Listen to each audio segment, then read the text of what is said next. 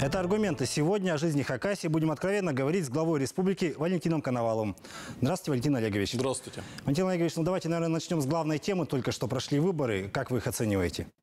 Выборы прошли организованно, без э, нарушений, без происшествий, несмотря на то, что мы понимаем, в какой сложной международной обстановке они э, проходят. Э, но с точки зрения безопасности и в целом организации все прошло без сучка, без задоринки.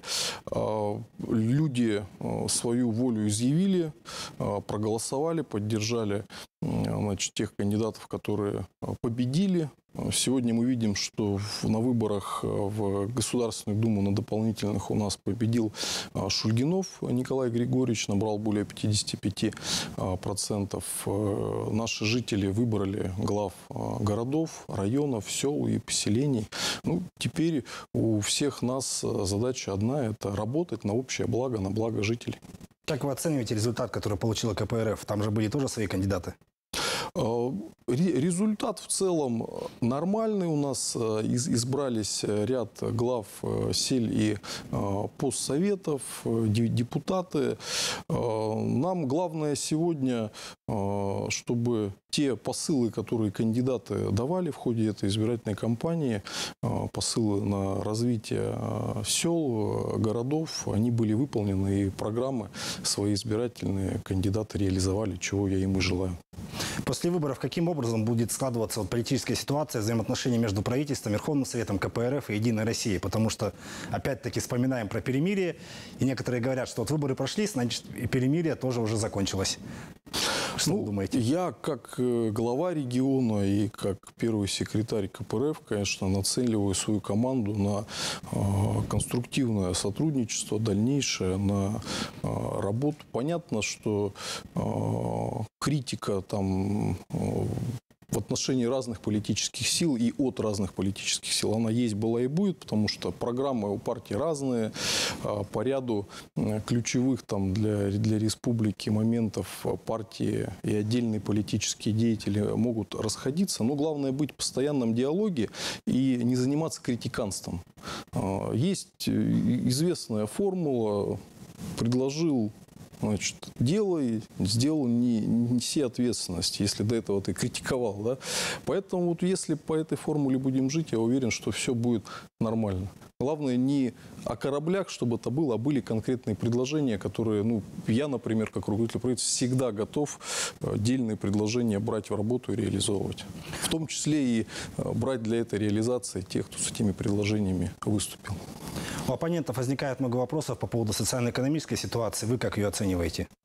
Ну, социально-экономическая ситуация у нас действительно непростая. Ну, это объективная картина.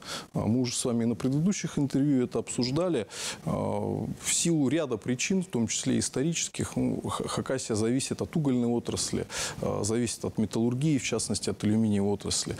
Товары эти биржевые. И, конечно, вот то колебание, которое идет цен, и сегодня те значит, э, агрессивные действия недружественных стран, которые вводят заградительные пошлины, вводят э, эмбарго, э, конечно, все это мешает сегодня нашей экономике. И мы как раз вот в перечне тех ну, 8-10, скажем, регионов, да, а, которые, наверное, от э, вот такой недружественной нам а, политики на международном уровне пострадали в наибольшей степени. А, да, мы продолжаем реализовывать свою стратегию развития, которую в 2020 году еще утвердили, на дополнительную поддержку несырьевых отраслей экономики и на диверсификацию экономики. Но, опять же, вот с учетом этих э, внешних тенденций в полной степени компенсировать вот то падение от налога на прибыль по угольщикам и алюминщикам, которые мы получили, пока мы не можем.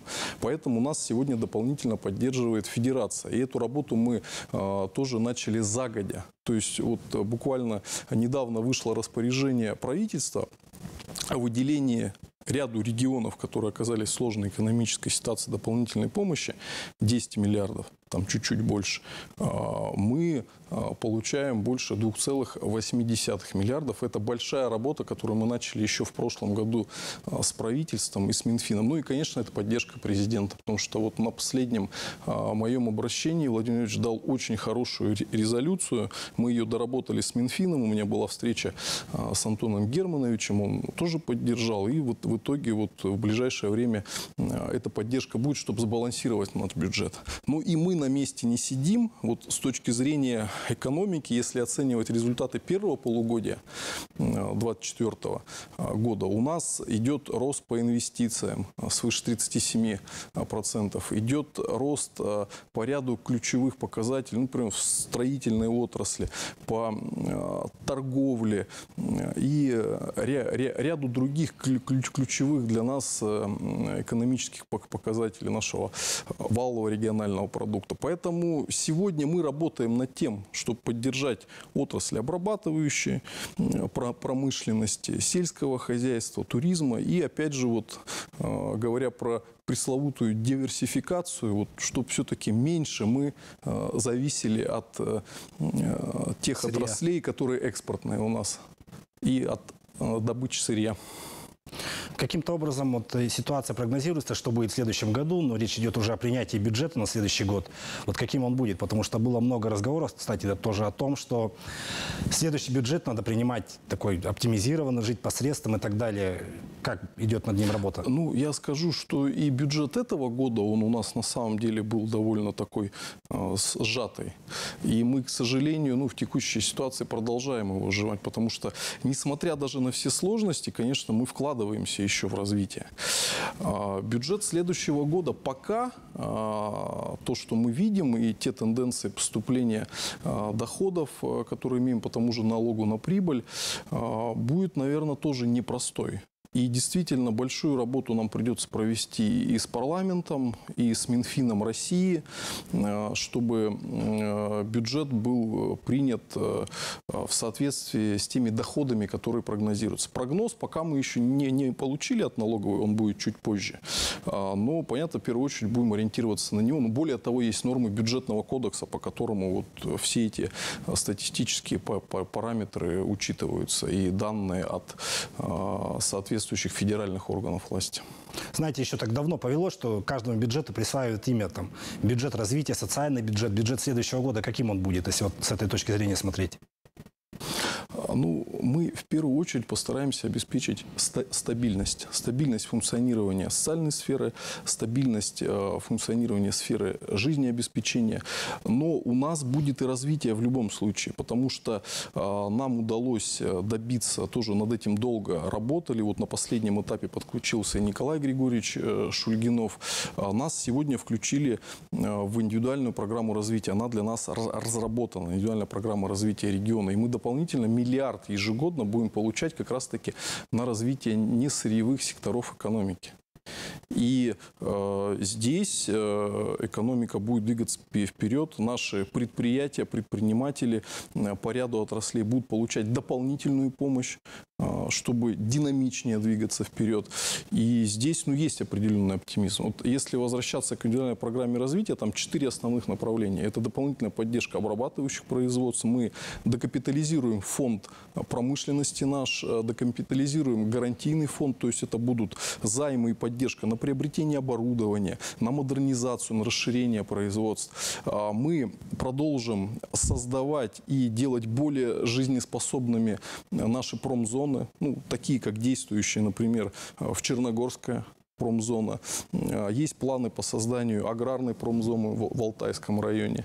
А мы продолжим развивать энергетическую инфраструктуру. В индивидуальной программе развития тоже есть строительство двух подстанций и высоковольтной линии.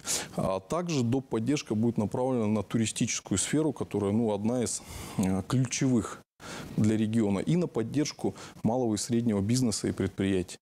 А, то есть вот по всем этим направлениям мы, безусловно, отработаем. Ну и, конечно, будем активно участвовать вот а, в нацпроектах и федеральных программах. Все это, конечно, важно, новые производства, диверсификация, но что будет с угольной отраслью? Потому что такая традиционная, как будет с логистикой? Пойдет наш уголь? Ну, будет вывозиться? Угольная отрасль, несмотря на все сложности, несмотря на колоссальное падение э, доходов от нее в наш бюджет, сегодня продолжает жить. У нас 8 э, предприятий в целом функционирует, э, разрезов, и работает ну, больше 5 тысяч только на самих предприятиях. Еще связанные э, предприятия, это около 12,5 э, тысяч. А в целом мы понимаем, что это практически 10% всего населения, если с семьями брать, которые так или иначе связаны э, с угольной промышленностью. А здесь какие перспективы? Ну, первое, вы знаете, у нас э, заключено с РЖД соглашение, и в этом году 6,5 миллионов тонн мы вывезем на восточное направление. Были проблемы с графиками вывоза, но сегодня РЖД вышла вот уже в плановые значения.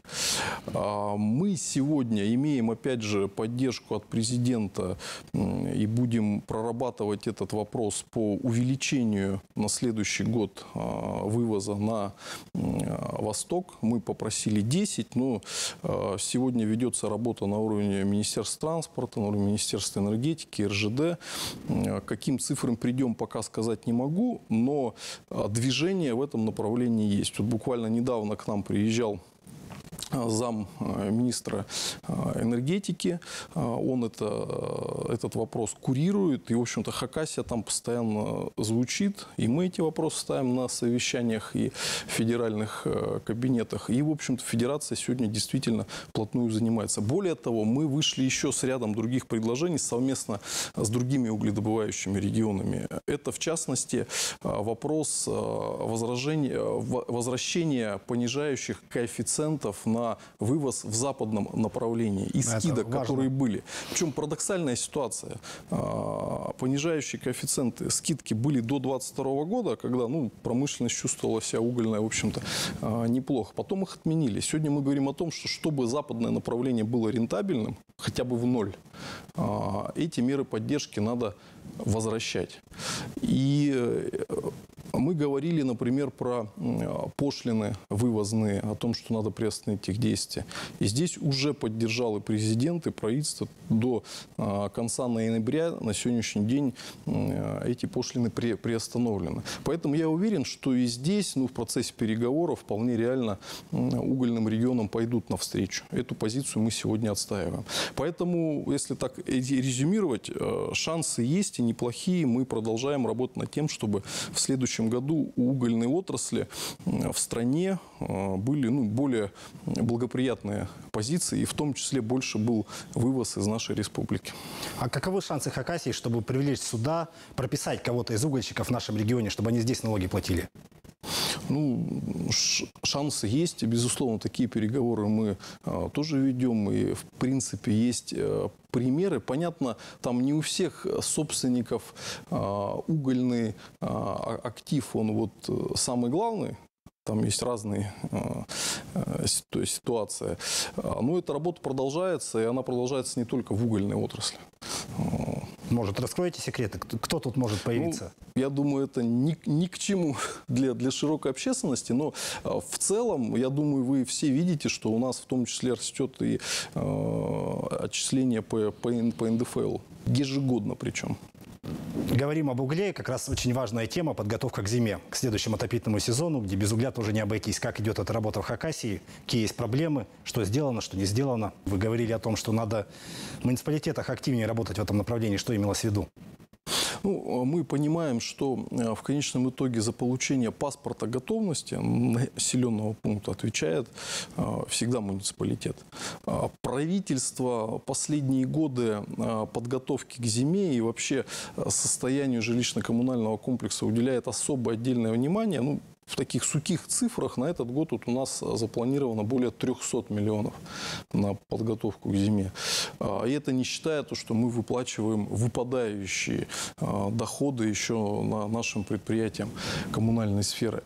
А, были вопросы на прошлой неделе в плане готовности отдельных населенных пунктов. Какие-то урегулированы уже, какие-то в процессе. У нас зима в некоторых районах наступает раньше, и участки. Это северные наши горные районы, на особом контроле Приисковый, где у нас новая котельная вот-вот уже будет полностью построена. Она, кстати, запущена уже в, в тестовом режиме. Сейчас монтируется труба, буквально вот 2-3 дня, и котельная заработает на полную. Там новая модульная котельная такого же типа, как мы построили в Пригорске, в Белом Яре. То есть, в общем-то, на сегодняшний день, благодаря вот региональному причем проекту, мы надежность теплоснабжения в Приисковом, нашем одном из туристических центров, обеспечим. На особом контроле всегда у нас значит, таежные территории Аскийского района, такие как вершины Тёи. Там тоже на сегодняшний день работа большая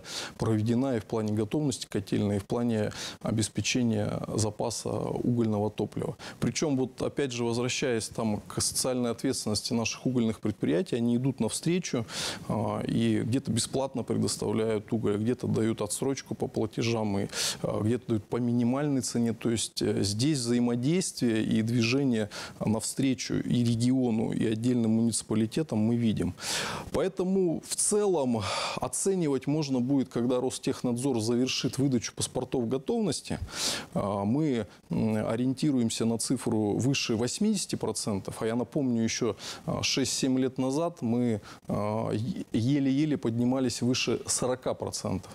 То есть сегодня, конечно, наш жилищно-коммунальный комплекс находится в качественно ином состоянии. И могу заверить, что так как это сфера обеспечения, мы продолжим оказывать вот данному аспекту жизни республики особое внимание, в том числе и финансовое.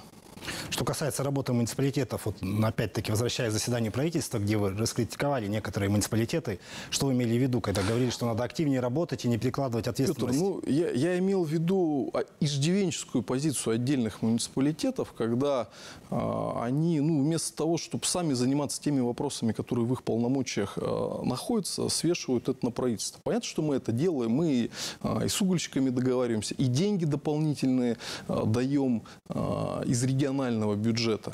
А, но а, мы же видим, какая ситуация в каждом конкретном бюджете. О чем я говорил? Ну, когда муниципалитет может найти а, деньги там на танцы-пляски, там 5 миллионов, и, и, и не может найти миллион на приобретение угля, ну, это странная ситуация.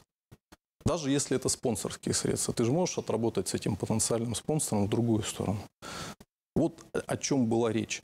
А, но а, на практике все-таки большинство глав муниципалитетов действуют арчительно. И именно к этому вот в ходе совещания это я и призывал. Что вы свои, свой бюджет-то правильно распределяете.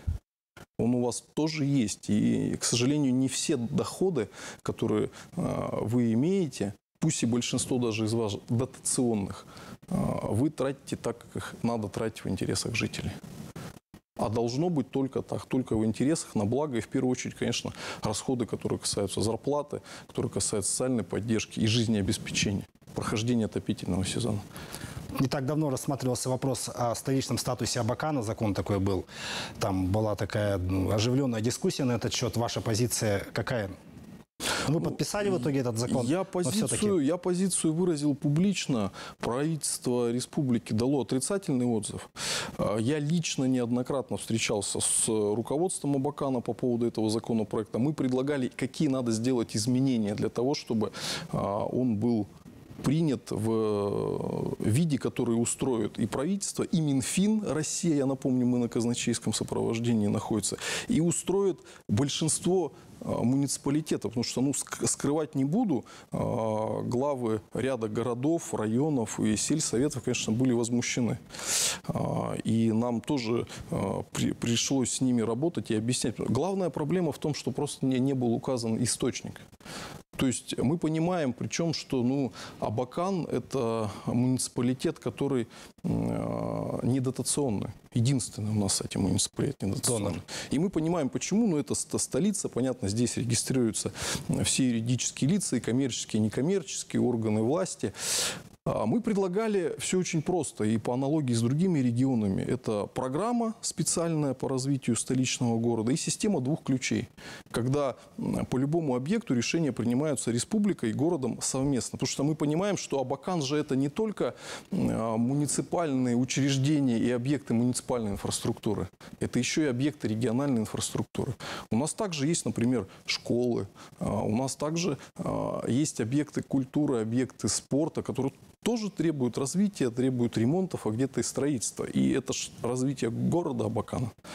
А, но вот, к сожалению, здесь, наверное, какая-то политическая составляющая э, перевалило в мнениях у депутатов, они приняли, приняли практически конституционным большинством, поэтому я не видел смысла а, не, не подписывать этот документ. То есть это ответственность уже депутатского а, корпуса, а, но с учетом, что в законопроекте толком не были указаны источники, мы понимаем, что бюджет это как сообщающие сосуды. Невозможно кому-то дать, откуда-то не отняв или не указав дополнительный источник, не введя дополнительное на налогообложение, э, либо какой-то иной доход не показав. А поэтому в любом случае нам вместе с депутатами э, придется бюджет принимать сбалансированный. И, конечно, мы не можем э, обделить другие муниципалитеты. Это все будет обсуждаться. И, конечно, вот этот баланс между всеми муниципальными образованиями, включая Абакан, он, он будет восстановлен. Вы сами живете в Абакане. Вот что бы вы назвали ключевой проблемой столицы Хакасии? Слушайте, ну, вот, на ваш взгляд. Про проблем много. Это и дороги, это и вопросы благоустройства. А, я более того-то хочу сказать, что Абакан-то мы за последние там 6 лет никогда не обижали. То есть, если мы посмотрим в структуре распределения там нацпроектов, федеральных и региональных программ, ну, Абакан получает не треть. То есть, население проживает треть, а даем мы больше. А, более того, мы вкладываем в развитие собственной региональной инфраструктуры. И, э, конечно, хочется, чтобы Абакан был еще краше, это наше э, лицо, но мы должны обеспечить развитие равномерно всей республики. Это та задача, которая стоит перед правительством. Более того, ряд решений, которые мы за последние годы приняли, они же были ну, фактически в пользу Абакана. Мы отдали от себя, от регионального бюджета, например, 30% по упрощенной системе налогообложения всем муниципалитетам. Но главную выгоду получил Абакан. Потому что это около ну, 500 с лишним миллионов ежегодно. И львиную долю, там процентов 70 с лишним от этой суммы получает Абакан. Ну, если вот говорить про 300 миллионов. Больше 300. Это еще в 2021 году было решение. Эта сумма ежегодно нарастает. Но это как пример. А, есть и другие позиции. То есть фактически мы ежегодно даем Абакану федерально-региональной поддержки, а регионы федеральную поддержку распределяют, более 2 миллиардов рублей. И э, Проблемы, конечно, они сохраняются. Город большой, город растет. Мы видим, как он активно строится. Хочется, чтобы администрация более чутко реагировала, конечно, э, на развитие дорожной инфраструктуры и содержание ее, потому что не всегда вовремя все-таки даже ямочный э, ремонт делается. А на благоустройство не только центральных территорий, но и всех наших э, микрорайонов и районов. Ну, в целом, я еще раз хочу сказать, я понимаю, что это наши общие задачи с муниципалитетами, конечно, мы продолжим помогать. Если говорить в целом о всей республике, вот в следующем году стартует много новых национальных проектов, в том числе касающиеся здоровья людей. Вот как Хакасия будет в них ходить, каковы шансы получить федеральное финансирование и что-то сделать у нас? Ну, надо сказать, что как только президент э, объявил о введении новых нацпроектов и федеральных программ, мы э, на уровне наших э, региональных министерств начали работу с федеральным правительством. Сегодня мы все в республике, вся страна страна ждет, э, когда будут э, закреплены критерии.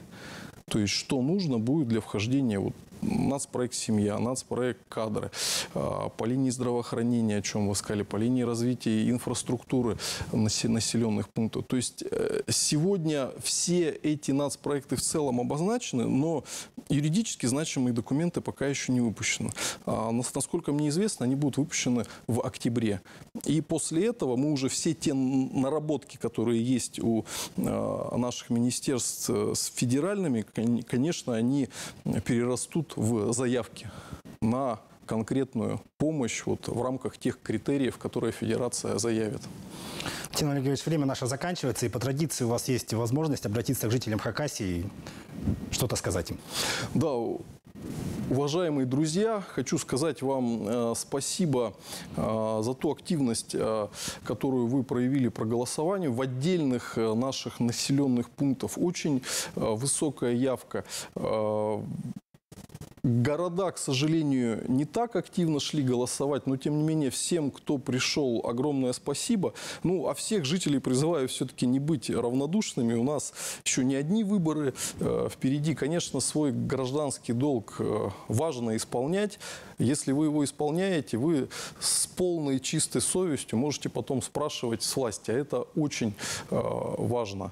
Но, тем не менее, хочу еще раз поблагодарить всех, кто пришли и проголосовали. Э, молодцы. Ну, а кто в силу э, той или иной э, ситуации не смог, мы ждем на следующих выборов, потому что влиять на власть это очень важно. Ну и при, приятно было э, пообщаться. Спасибо, что выслушали. Всего доброго. Это была программа «Аргументы». сегодняшнего дня мы уходим в творческий отпуск. Смотрите новые доводы и новые аргументы в октябре. Спасибо, что были с нами.